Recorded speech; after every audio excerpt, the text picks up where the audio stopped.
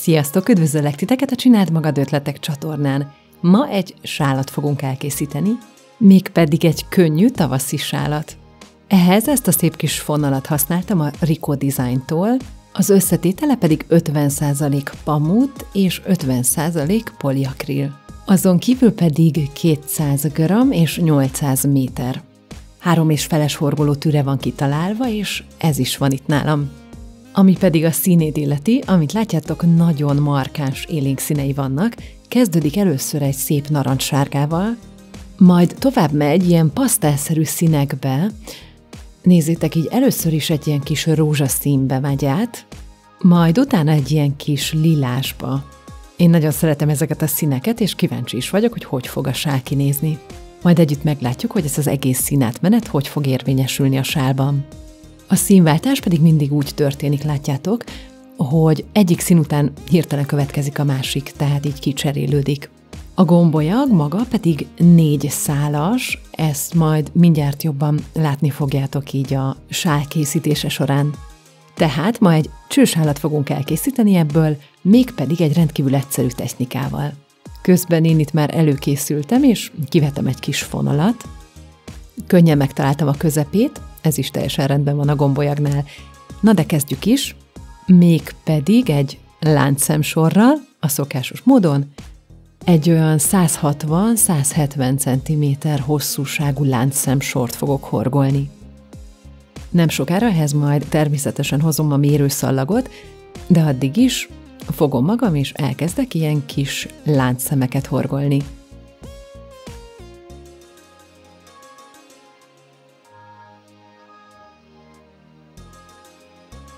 A láncszem sorom kész is van, és most pedig így kirakom magam elé, szépen egyenletesen, úgyhogy ne legyen megcsavarodva.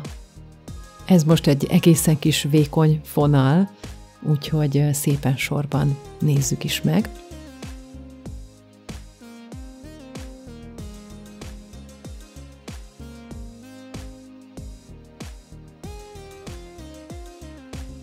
Na, kész is van. Most pedig össze fogom kötni egy körré. Beszúrom ide a tűt az első szembe,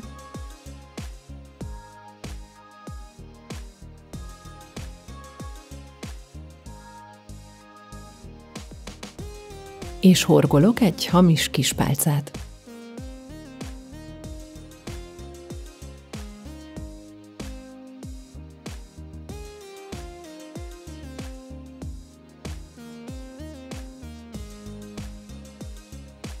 Így áthúzzuk, és ezzel össze is kötöttük az egészet egy szép nagy körré.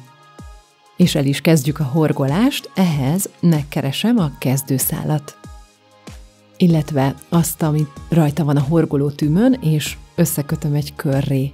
Mutatom még egyszer, tehát ide kell akkor ugye beszúrni az első szembe a horgoló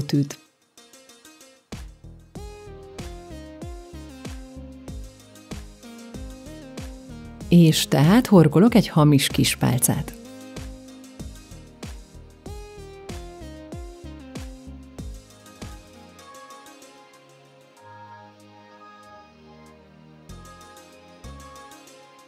Egyszerűen áthúzzuk, és már kezdjük is magát a mintát. És ugyanebbe az első szembe fogom belehorgolni az első pufi mintát. Ehhez felhúzom a fonalat, ami a tűmön van, jó nagyra, majd egy ráhajtással beleszúrom a tűt ugyanabba a szembe. Ezután felhúzom mind a kettő szálat. Majd egy újabb ráhajtás, és újra beleszúrom a tűt. Immár öt szál lesz a tűmön, majd ugyanezt még egyszer, hogy hét legyen rajta. Majd ezt is szépen nagyra és lazára fölhúzzuk, majd fogjuk a fonalat, és egy az egyben áthúzzuk az egészen. Erre horgolunk még egy lánc szemet, tehát csak áthúzzuk, majd ezután kihagyok itt lent egy szemet, és a következőben fogok tovább horgolni. Megint csak egy ráhajtással kezdek, beleszúrom a tűt a szembe,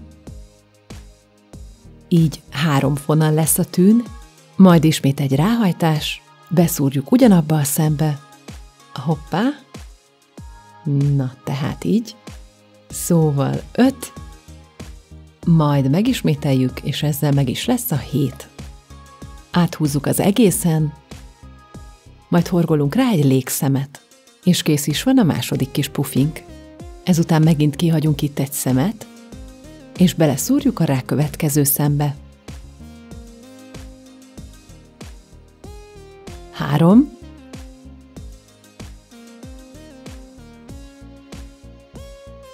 és öt, és hét. Áthúzzuk az összesen, majd horgolunk rá egy láncszemet. És így néz ki az első három kis pufink. És így fogom végig horgolni a kört. Tehát egy ráhajtás, beleszúrjuk, majd felhúzzuk a fonalat. Három, ráhajtás, beszúrjuk, felhúzzuk, öt, majd még egyszer, hogy meglegyen a hét. És ráhorgolunk egy láncszemet. És így tovább. Az első sor az egy picit mindig lassabban megy, mert a kis szemeket ki kell keresnünk, ahova beszúrjuk a tűt. A következő sor egyszerűbb lesz, mert az előző sor pufiai közé fogjuk beszúrni a tűt. Most pedig megmutatom az átmenetet a körök között, ez is nagyon egyszerű lesz. Legelőször horgolok egy plusz láncszemet, tehát kettő van már itt, majd horgolok egy hamis kis pálcát ide az előző kör kettő pufja közé. És pontosan ugyanide fogjuk horgolni már a következő kör első pufját. Felhúzzuk a fonalat, megvan a három, majd öt, és végül hét, majd áthúzzuk. Ráhorgolunk egy szemet, és ez a következő beszúrási pontunk. Három, és hét. És így folytatjuk tovább végig körben.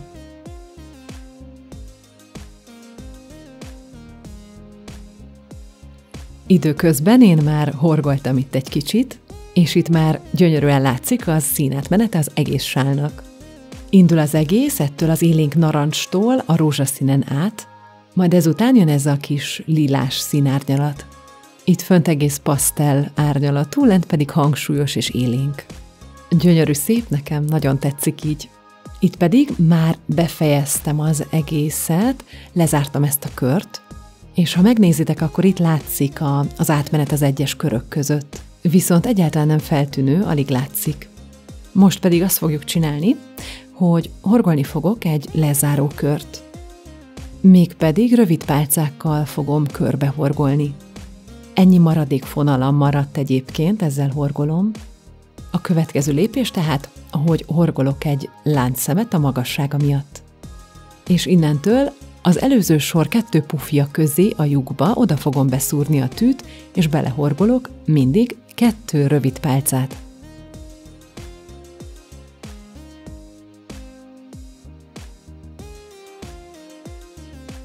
És így fogom végig horgolni az egész kört. Kész is vagyok a körrel, és megérkeztem ide az elejéhez. Elvágom a fonalat, majd kihúzom egészen egyszerűen, és most már csak el kell majd varni. Én ezt most úgy fogom csinálni, hogy belemegyek az első szembe, áthúzom a fonalat, majd itt belemegyek az utolsó szembe, hogy ezen is áthúzzam a fonalat. Ettől nagyon szép, egységes kinézete lesz itt felül. Ami pedig marad, itt azt szimplán el fogom varni. Itt alul pedig itt van a kezdőfonalam, összvisz ezt a kettőt kell majd elvarnunk. Ez azért így nagyon praktikus, és itt pedig a kész sál, gyönyörű szép lett, szerintem nagyon dekoratív. Nagyon finom, puha az anyaga, és nem is túl meleg már majd az elkövetkező tavaszra.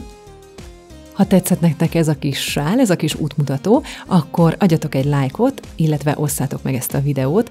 Természetesen ne felejtsétek el a Csináld magad ötletek csatornát követni, illetve bekapcsolni a kis harangot, hogy értesítést is kapjatok a következő új videókról. Találkozunk legközelebb, sziasztok!